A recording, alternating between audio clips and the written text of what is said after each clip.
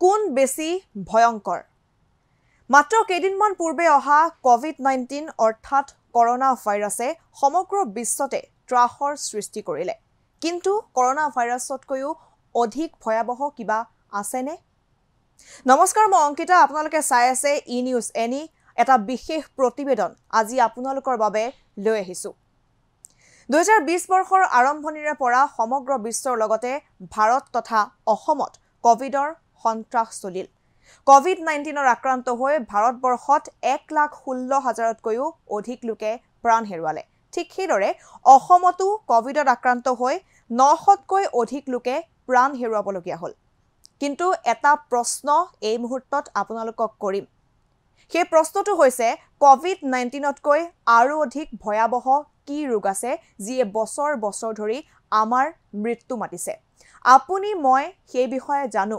আপুনি মই সেই বিষয়ে অধ্যয়ন কৰিছোঁ। কিন্তু আমাৰ চাৰিওদিশে এই ঘটনা যি ঘটি আছে তাক লৈ আমি গুৰুত্ব প্ৰদান কৰা নাই। বিভিন্ন ৰোগ হৈছে আৰু সেই ৰোগেই আমাক খুলি খুলি মৃত্যু মুখলৈ ঠেলি দিছে। এই প্ৰতিবেদন আপোনালোকে চাওক তাৰ পাছত আপুনি নিজেই প্ৰশ্ন কৰিব এশবাৰ প্ৰশ্ন কৰিব যে কোন বেছি ভয়ংকৰ। বায়ু প্ৰদূষণ কেতিয়াও শেষ নোহোৱা এক সমস্যা। বায়ু প্ৰদূষণে আপোনাৰো মৃত্যু মাতিব পাৰে।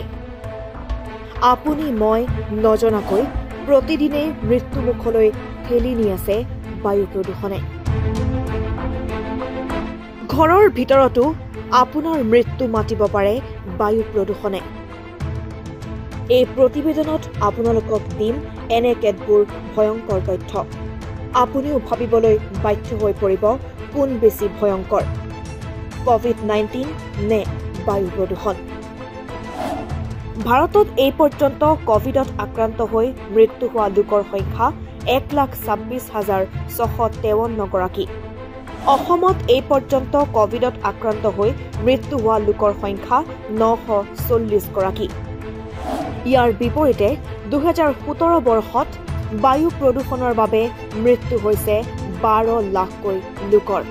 আই চি এম আৰৰ তথ্য অনুসৰি আমি আপোনালোকক জনাম বায়ু প্ৰদূষণে কিদৰে প্ৰতিদিনে মৃত্যু মাতিছে মোৰ আপোনাৰ। দুহেজাৰ ঊনৈছ বৰ্ষত ভাৰতত এক লাখ ষোল্ল হাজাৰ লোকৰ মৃত্যু হৈছে বায়ু প্ৰদূষণৰ ফলত। পাকিস্তান নাইজেৰিয়া ইথিঅপিয়াৰ তুলনাত আটাইতকৈ বেছি মৃত্যু হৈছে ভাৰতত। দুহেজাৰ দহ বৰ্ষৰ পৰা দুহেজাৰ ঊনৈছ বৰ্ষত মুঠ মৃত্যু হৈছে তিনি লাখ তেসত্তৰ হাজাৰ লোকৰ। বায়ু প্ৰদূষণৰ ক্ষেত্ৰত চীনতকৈও আগবাঢ়ি আছে ভাৰতবৰ্ষ। দুহেজাৰ দহ বৰ্ষৰ পৰা দুহেজাৰ ঊনৈছ বৰ্ষলৈ ঘৰৰ সামগ্ৰীৰ প্ৰদূষণৰ বাবে মৃত্যু হৈছে দুই লাখ আঠ হাজাৰ লোকৰ। ভাৰতত প্ৰতি আঠগৰাকী ব্যক্তিৰ বিপৰীতে বায়ু প্ৰদূষণত মৃত্যু হয় এজন লোকৰ। এই প্ৰদূষণত সাৰি যোৱা নাই অসমো। চেণ্ট্ৰেল ব্যুৰ অৱ হেল্থ ইণ্টেলিজেন্সৰ তথ্য অনুসৰি দুহেজাৰ সোতৰ বৰ্ষত অসমত বায়ু প্ৰদূষণত দুশ পঁচিছগৰাকী লোকৰ মৃত্যু হয়। দুহেজাৰ ষোল্ল বৰ্ষত দুশগৰাকী লোকে মৃত্যুক আঁকোৱালি লৈছে। দুহেজাৰ ওঠৰ বৰ্ষত অসমত বিছ হাজাৰ ছশ সাতষষ্ঠিগৰাকী লোকৰ মৃত্যু হৈছে বায়ু প্ৰদূষণৰ ফলত।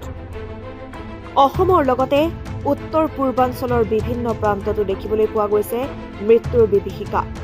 অৰুণাচল মণিপুৰ মিজোৰাম নাগালেণ্ড ছিকিম মেঘালয়তো মৃত্যু হৈছে বহু কেইগৰাকী লোকৰ। এই বায়ু প্ৰদূষণে আপোনাৰ মৃত্যু কেনেকৈ মাতিব পাৰে? ইয়াৰ ফলত বিভিন্ন ধৰণৰ ৰোগে দেখা দিয়ে আমাৰ শৰীৰত।